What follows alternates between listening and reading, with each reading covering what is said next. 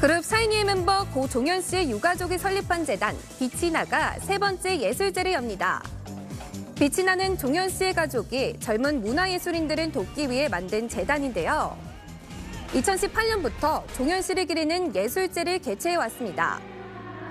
모레 오후 온라인으로 열리는 이번 예술제는 종현 씨의 자작곡 유엔아이 속 가사인 유엔아이 나 항상 너의 얘기를 기다리고 있어 라는 제목으로 열립니다. 작사가 김이나 씨가 진행을 맡았고요.